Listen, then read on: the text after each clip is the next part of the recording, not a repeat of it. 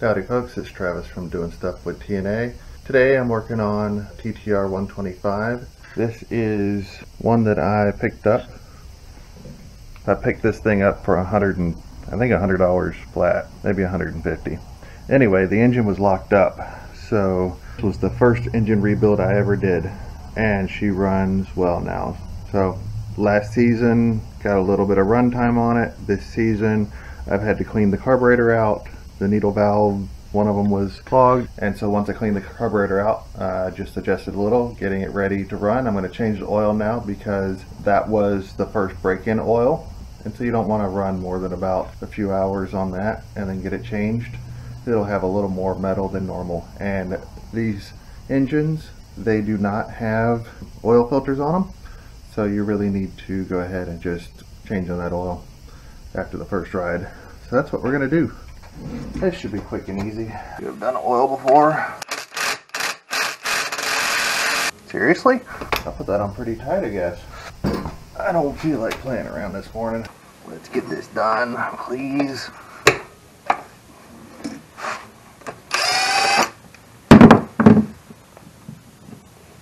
take a look at that oil. It's still pretty clean, actually. Not too bad. These things really take very little oil, though and you can see you see in that oil there is some something other than just oil in it. It's pretty light though.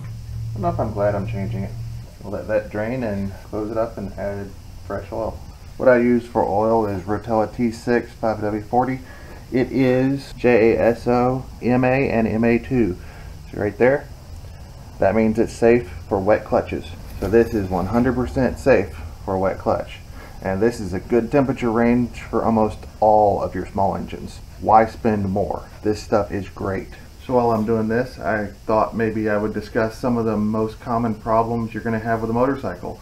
You only really need to check. Most times, your bike, if it's set for the season, the problems, if it's got a carburetor, the problem is just going to be a clogged up carburetor. One of your jets is going to be clogged, there's going to be trash in the bowl, and that's just life of gas. Even if you get ethanol free, that can happen. It's super easy. Jets are simply little brass tubes that have tiny holes in them. All you do is unscrew those two, and they have two. They have one for idle and one for main. And I'll tell you what those are for a minute. But you unscrew both of them, you clean them out. They'll have holes that go through the center, and then they'll have holes on the sides. Clean out all the holes. Once that's done, thing will run almost every time. The only other possible problem you could have is that carburetors have little holes that feed around through it and sometimes those will get clogged. So just make sure you any little hole you can find that you're able to spray carb cleaner through it or even brake cleaner. Just be careful of your rubber parts if you're using brake cleaner. That is the most common problem with bikes. Uh, your next most common problem is going to be if your battery's dead. That's simple people. I, I don't understand why there needs to be so much conversation about my bike won't start. Well the battery dead. That should be a no-brainer. So you've got a couple of things. You need, for an engine to run, you have to have fuel, air, spark, compression, and timing. That's all. If you've got all of those things, it's going to work on an older engine. On a newer engine, you're going to have a little bit of other stuff to deal with because of the fuel injection, like your injectors, but it's still those same five things, just a little bit different. Because with your fuel and air, you're dealing with a carburetor, right? Or you're dealing with injectors and the intake. So it's very much the same, just a little bit different in execution. Fuel, what to check with your fuel. Make sure uh, tanks have a filter on them. Usually a little screen on the inside, make sure that's not clogged. Make sure you, if it's got a filter on it, that's not clogged. Make sure it flows. I like using uh, see-through tubing so that you can see that the gas is actually flowing. If not the tubing, then the filter see-through so you can see that the filter is getting gas in it. Air. Well, there's a such thing as too much and too little air. And this is particularly true with carburetors. So a carburetor works by the Venturi effect, if I said that right. I think I did. Basically, that creates the suction that pulls the gas through. That suction cannot happen if you don't have a good seal on the carburetor to the engine. That boot between the engine and the carb must be good. If it's cracked, you're screwed. Not screwed, but it's not going to run. Even if it runs, it won't run well. You'll have trouble, especially with idling. Air leaks are one of your biggest issues aside from getting fuel. most of the time, those are the problems a bike's going to have if it's set. Uh, I have seen where rodents get into the air boxes and then clog up the intake, so that's a possibility, but again, that's air air and fuel. The others only come into play if it was running fine and suddenly stopped, nine times out of ten. Or if you did some work and now it doesn't run. Uh, usually that sort of thing. But those aren't usually hard to figure out either unless you have something tricky. Like on my, I, I bought a YZF 426 that was non-running. It's an 01, so it doesn't have auto decompression on the exhaust valve and they were known to be hard to start. Well, all I did was replace the exhaust cam, no problem starting it now.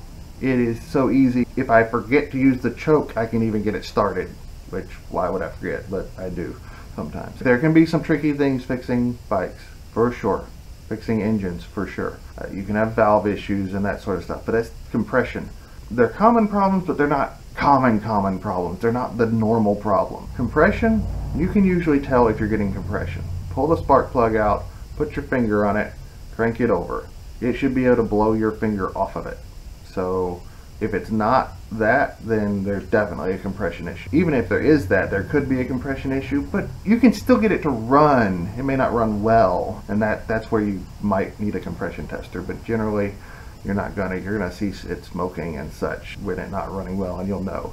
Uh, that's what actually happened on this TTR originally when I rebuilt it I used reused the piston well that was a bad idea I ended up having to pull the head back off and put a new piston in it but I knew it was a problem because it was smoking. It still ran. It was still getting compression. It just wasn't great compression. So it was letting oil pass. It wasn't uh, it was burning oil. It didn't need a compression tester to find that out. Actually bigger engines are easier. They're more they're less sensitive usually to to small leaks. It's called a petcock in case you've never done these things before. Where the fuel goes into the carburetor, there's a neat, I'm sure you can find a video on it, but it basically just lets gas into the bowl of the carburetor and then shuts it off. Why do they do that? Well, they need a bit of gas there for it to be able to have that Venturi effect to flow up into the engine. So it has to have a bowl of gas down there. But you can't be overfilling that bowl or it'll just leak out everywhere or it'll clog things up. It, will it, get where it shouldn't be. So, so they have that valve basically that shuts off once there's enough gas in the bowl. And if once the gas gets low in the bowl, then, then it automatically turns on. And that's what the floats do. They just judge the level of the fluid in the bowl timing. What is timing? Well, there's two types of motorcycles, or engines really, two-stroke, four-stroke. Two-stroke literally means every time the piston goes up, there's a spark and it will ignite and push the piston back down. Then the piston comes back up and it happens again. A four-stroke goes up, down, up, explosion, down, up. Why? Because it has a, a cycle where it has to exhaust the gases. So when it goes down it get, and it's starting to come back up, it gets its fuel and air, and then it compresses it and fires. Then it goes down and comes back up and exhausts all that air when it comes back up. That's a four-stroke. Most of your vehicles are four-stroke. Your small engines, like lawnmowers, they're four-stroke. Your weed eaters and such tend to be two-stroke. Difference is revving speed and complexity of the engine. So, okay, what timing is, timing just tells the spark when to spark. Is the piston all the way up to the top? If so, that's when the, well, actually not quite then, right before it gets to the top is where it will spark to start igniting the gas. The reason it get, does it right before it gets to the top is that gas takes time to explode and expand. It takes a split second, but it's enough difference between when it's going up to when it starts going back down. So that's that's called timing advance. Usually your timing is set just by the cam chain, the position of the cams. And basically a cam is simply a shaped lobe that rotates around in order to press the valves open and close. What are valves? Well, we're getting too deep. Forget about that. But timing basically, it has to do with those valves and that spark. So you gotta have the spark at the right time. If you don't have the spark at the right time, the engine won't run. So that's timing. That's what most people refer to when they're talking about timing. Spark, well that's pretty simple. You've got the ignition system, you've got the coil, you've got stator coil which generates the electricity. Typically things that'll go bad are the stator will go bad, which is just a bunch of coils on a thing where a magnet rotates around it, so it generates electricity. Then you have your coil, Those can go bad. They don't tend to. And you have your spark plug wires and spark plug. So, yeah, what is spark? That should be pretty simple. Is the spark plug sparking? Take it out and clamp it somehow so it's ground, so the body of it's grounded, and see does the spark plug spark? If it does, you've got spark. It may not be timed right, but you have spark. So, fuel, air, compression, spark, timing. We've talked about them all, and that's what it takes to make an engine run. The concept isn't that hard. You have those five things, you have some things that go along with those things, how to diagnose them. But if you just think logically about troubleshooting something, it's not that hard. Now, you can get more in depth, like for a carburetor. Let's say your bike will only run if the choke is on. Well, that almost always means the idle jet is clogged. The idle jet is the two smaller of the two jets in a carburetor, and it's the most common one to clog because it's got the smaller holes. So yeah, you, if you can't get the bike to idle unless the choke's on, there's your problem. Your other option is you can't get it to run at all. Well, if you spray fuel straight down the pipe, not not pipe, not uh, straight past the carb, will it fire off a few times or, or even run for a little bit? If it will, well, you're not getting fuel. So either the bowl doesn't have fuel, which is easy enough to check. You take the bowl off, is it fuel fault? Drain out of it. Or both your jets are clogged, or one of the passageways in the carburetor is clogged. So let's say you rev the bike up and at first you pull the throttle back and at first it revs up and then it dies down and starts cutting out and, and dies on you until you let off the throttle and then it idles again. What? That's weird.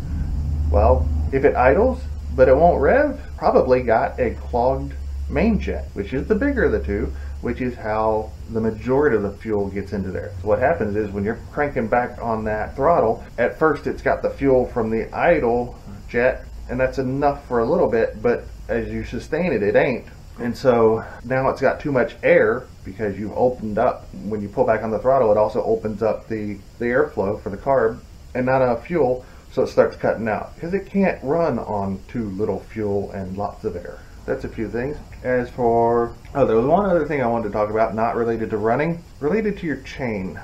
I didn't, I didn't understand for a while. I, I had never looked up. People always said change your chain. Why? Okay, it stretches, big deal. Just I can take a link out, right? If I really need to. Well, I found out why. When your chain starts stretching, it actually starts wearing out the sprocket. And so your sprocket should have tight little U shapes in it. When the chain is wearing out, it will actually grind on the sides of those U shapes and, and spread it out. And it'll make it where it's more likely to slip. So yeah, that, that's why you replace your chain. You also will need to replace the sprocket eventually too because that's going to happen regardless. And so if your sprocket gets worn, then it'll start destroying the new chains. So yeah, but I found that interesting. I didn't know they wore like that. I mean, I knew the chain stretch, but I didn't know the sprocket wore. I think that's all I've got for you. This bike is getting a new chain and a battery. I've just been running it with no battery because it doesn't require one to run. It makes it easier to start because it is an electric start. Uh, this thing was torn up. Key switch was destroyed. The wiring was destroyed. The engine was locked up. Tons of parts were missing. So after getting it for a hundred bucks, I then ended up spending $900 on parts and that wasn't buying the expensive crank. That was buying a cheap $100 Chinese crank. All the other bearings in the case that I had to replace, they're expensive. The gaskets, the new piston and rings, the a whole bunch of various parts, a new carburetor because the old carburetor wasn't the right one, some new lines, new uh, grips, new controls, because um, both the clutch and the brake side were broken. I did have to do something, the, the push rod, something with the clutch was broken. I also had to get a new clutch cable. Just so much stuff was just missing or broken. The brakes didn't work at all. Oh, the rear tire was shot. Not, I mean, not the tire, the the uh, the metal tube that goes inside the tire that the bearings press against was gone and so the bearings were destroyed and the rim was in pretty bad shape but I managed to reuse it. It'll get light riding with the wipes. It'll be fine. Uh, the spacers were missing. The chain guards were missing. This was a fun thing to do. If you want to get into repairing engines, something small like this is perfect to start with. You can even find a complete teardown of this engine online. It's a video in another language, so you can't really hear anything, but you can see everything, which is pretty cool. Um, and of course, you can find all the breakdowns of these things, the parts website, I can't think of the name but they, they show the diagram so that you can order the right part. Found lots of stuff on e or bought lots of stuff from eBay. Anyway, I'm quite happy with how the bike turned out overall. Being my first full engine rebuild, I have a couple more going on. Uh, I thought I'd take some time and talk about this bike since I'm working on it. Uh, oh, I replaced the tires. I cleaned up the rims and painted, well, the rear one. I cleaned it up because it was really badly rusty and painted it silver. Uh, painted the frame where it was rusty. Cleaned up the tank. As bad as the tank looks, it was way worse. Uh, put the seat cover on it. Anywho, I think I'm done talking about this. I'm going to finish doing the oil. I do not remember how much oil this thing's supposed to get. But we have a handy dipstick, so what you do, your filler decks are always dirty. Try to keep them closed off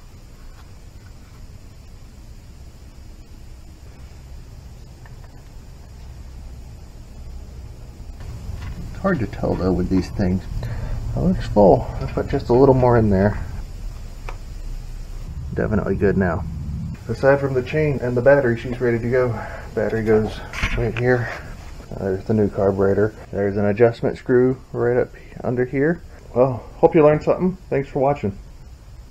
Alright guys, so we're back to the TTR 125. I've got the new chain in.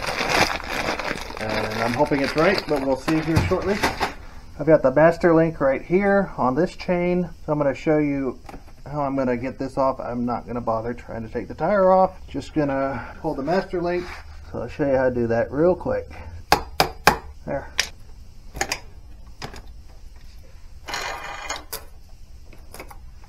Now I'm going to have to loosen this rear tire up to slide it forward because this was definitely stretched. It should be the same length aside from the stretch. We'll check that real quick see if I can find the master link in this one real quick.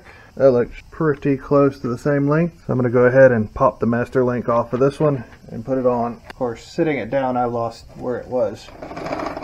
Problem is when it's not on your chain, it's pretty hard to push on it. There we go. I don't think you saw that. That was a little difficult. And there went a piece I need. Flew across the floor. I'm going to try and get this chain on first though before I go chasing that.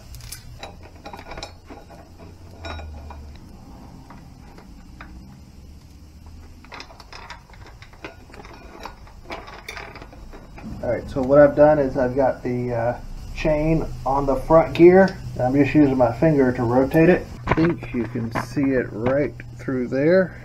I should be getting the chain down here where it should start being able to be routed.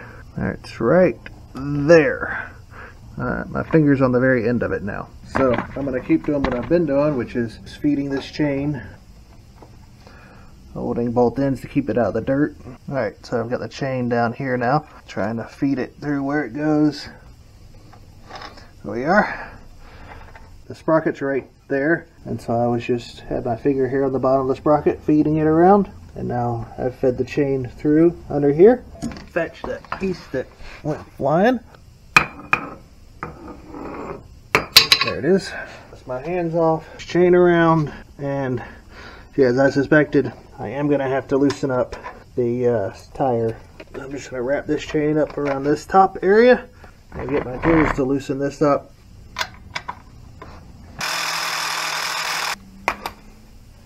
Alright, that's set pretty much the minimum setting there. Let's rotate the chain around. Oh yeah, now that's plenty of length which way should this go? Does it go this way so that it faces that way or does it go this way so it faces that way? Well, if it's facing this way, then if it hits something down here, since the chain's going to go that way, it won't cause it to come off. However, if it hits something up here, it still can cause it to come off. But I figure this is the safer way, so that's what I'm going to do. Yep, it's on all the way. Now we just got to tighten up the chain a little by rotating these guys. So you bring it all the way down. One, two, three, four. One, two, three, four.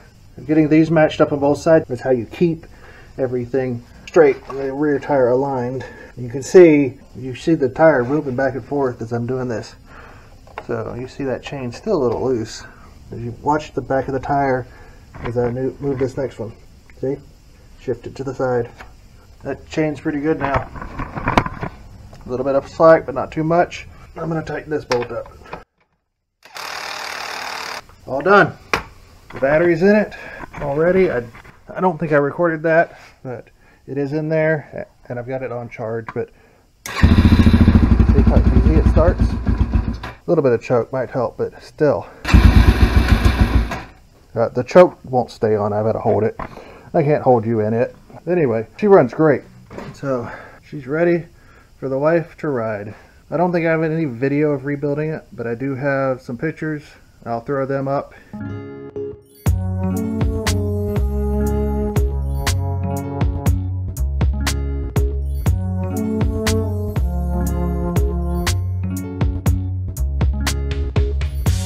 you can see some of that process. That, that's another project done.